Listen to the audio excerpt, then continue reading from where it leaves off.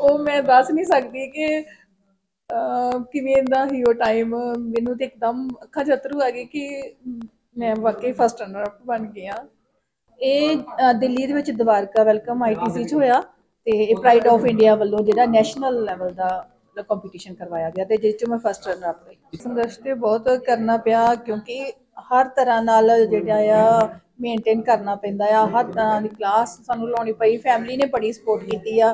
Husband ਨੇ ਵੀ ਬਹੁਤ support ਕੀਤੀ ਆ ਇੱਥੋਂ ਤੱਕ ਪਹੁੰਚਣ ਲਈ। ਪਰ ਮੈਂ ਆਪਣੀ ਫੈਮਿਲੀ ਵੀ ਵੇਖੀ ਆਪਣੇ ਬੱਚੇ ਆਪਣੇ ਹਸਬੰਡ ਨੂੰ ਵੇਖਿਆ ਆਪਣੀ ਜੌਬ ਵੀ ਵੇਖੀ। ਤੇ ਉਹਦੇ ਨਾਲ ਨਾਲ ਮੇਰੇ ਮਤਲਬ ਮੇਰੀ ਜੌਬ ਦੇ ਨਾਲ ਮੇਰੇ ਦਫ਼ਤਰ ਵਾਲਿਆਂ ਵੀ ਮੇਰੀ ਬਹੁਤ ਸਪੋਰਟ ਕੀਤੀ। ਮੇਰੇ ਹਸਬੰਡ ਨੇ ਵੀ ਮੇਰੇ ਬੱਚਿਆਂ ਨੇ ਮੇਰੀ ਫੈਮਿਲੀ ਨੇ ਸਾਰੀ ਨੇ ਮੇਰੀ ਬਹੁਤ ਸਪੋਰਟ ਕੀਤੀ ਹੈ ਕਿ ਜਦੋਂ ਵੀ ਮੈਨੂੰ ਕਿਸੇ ਚੀਜ਼ ਦੀ ਲੋੜ ਪਈ ਉਹਨਾਂ ਮੇਰਾ ਸਾਥ ਦਿੱਤਾ ਹੈ ਹਾਂਜੀ ਸੰਘਰਸ਼ ਤੇ ਬਹੁਤ ਕਰਨਾ ਪਿਆ ਕਿਉਂਕਿ ਹਰ ਤਰ੍ਹਾਂ ਨਾਲ ਜਿਹੜਾ ਆ ਮੇਨਟੇਨ ਕਰਨਾ ਪੈਂਦਾ ਆ। ਹਰ ਤਰ੍ਹਾਂ ਦੀ ਕਲਾਸ ਸਾਨੂੰ ਲਾਉਣੀ ਪਈ। ਫੈਮਿਲੀ ਨੇ ਬੜੀ ਸਪੋਰਟ ਕੀਤੀ ਆ। ਹਸਬੰਡ ਨੇ ਵੀ ਬਹੁਤ ਸਪੋਰਟ ਕੀਤੀ ਆ ਇੱਥੋਂ ਤੱਕ ਪਹੁੰਚਣ ਲਈ। ਮੈਂ ਅਕਸਰ ਹੀ ਦੇਖਿਆ ਜਾਂਦਾ ਨਾ ਕਿ ਮੈਰਿਡ ਵੂਮਨ ਹੋਵੇ ਔਰ ਵਰਕਿੰਗ ਵੂਮਨ ਵੀ ਹੋਵੇ। ਤੇ ਉਹਦੇ ਲਈ ਸ਼ਾਇਦ ਪ੍ਰਾਇੋਰਟੀਜ਼ ਪਹਿਲੇ ਫੈਮਿਲੀ ਵੀ ਰਹਿੰਦੀ ਹੈ ਜੌਬ ਵੀ ਰਹਿੰਦੀ ਲੇਕਿਨ ਉਹਦੇ ਵਿੱਚ ਇਹ ਸੁਪਨੇ ਦੱਬ ਕੇ ਰਹਿ ਜਾਂਦੇ ਆ। ਇਹ ਸ਼ਾਇਦ ਇਹੀ ਹੈ। ਮੇਰੀ ਫੈਮਿਲੀ ਨੇ ਸਪੋਰਟ ਕੀਤੀ।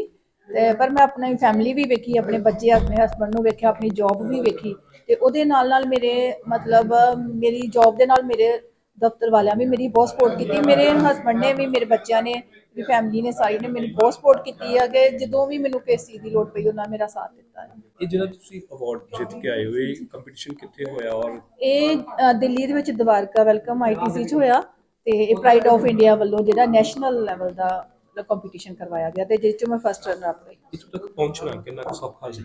ਨਹੀਂ ਸੌਖਾ ਨਹੀਂ ਬਹੁਤ ਔਖਾ ਸੀ। ਤੇ ਉਦੋਂ ਤੇ ਬਹੁਤ ਮਨ ਵਿੱਚ ਟੈਨਸ਼ਨ ਸੀ ਕਿ ਪਤਾ ਨਹੀਂ ਕੀ ਹੋਏਗਾ। ਤੇ ਚਲੋ ਵਾਹਿਗੁਰੂ ਨੇ ਵਧੀਆ ਕੀਤਾ ਕਿ ਮੈਂ ਜਿਹੜਾ ਨੈਸ਼ਨਲ ਮੇਰੇ ਮਨ 'ਚ ਸੀ ਕਿ ਮੈਂ ਇੱਕ ਵਾਰੀ ਨੈਸ਼ਨਲ ਜਿੱਤ ਕੇ ਆਉਣਾ ਆ। ਤੇ ਚਲੋ ਮੈਂ ਜਿੱਤ ਕੇ ਆਈ ਆ ਅੱਗੇ ਵੀ ਆਪਣੇ ਸੁਪਨੇ ਦੱਬ ਕੇ ਵੇਖੇ ਨਹੀਂ ਮੈਂ ਸਭ ਲੇਡੀਜ਼ ਨੂੰ ਕਹਿੰਦੀ ਜੇ ਤੁਹਾਡੇ ਕਿਸੇ ਵੀ ਫੀਲਡ ਵਿੱਚ ਜਾਣ ਦੇ ਸੁਪਨੇ ਆ ਤੇ ਉਹਨੂੰ ਜ਼ਰੂਰ ਸਾਕਾਰ ਕਰਨੇ ਚਾਹੀਦੇ ਆ। ਅੱਗੇ ਨਿਕਲ ਕੇ ਆਉਣਾ ਚਾਹੀਦਾ, ਇੱਕ ਦੂਜੇ ਦੀ ਹੈਲਪ ਕਰਨੀ ਚਾਹੀਦੀ ਆ। ਤੇ ਮੇਨ ਗੱਲ ਹੈ ਕਿ ਆਪਣੀ ਫੈਮਿਲੀ ਦੀ ਸਪੋਰਟ ਹੋਣੀ ਚਾਹੀਦੀ ਆ, ਤੇ ਸਾਨੂੰ ਵੱਡਿਆਂ ਦਾ ਸਤਿਕਾਰ ਕਰਨਾ ਚਾਹੀਦਾ।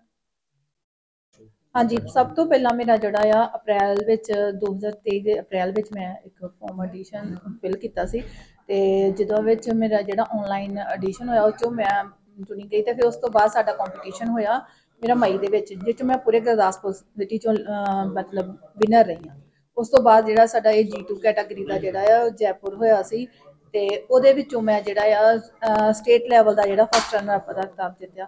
ਤੇ ਹੁਣ ਪੂਰੇ ਨੈਸ਼ਨਲ ਲੈਵਲ ਦਾ ਸੀ ਦਵਾਰਕਾ ਚ ਦਿੱਲੀ ਵਿੱਚ।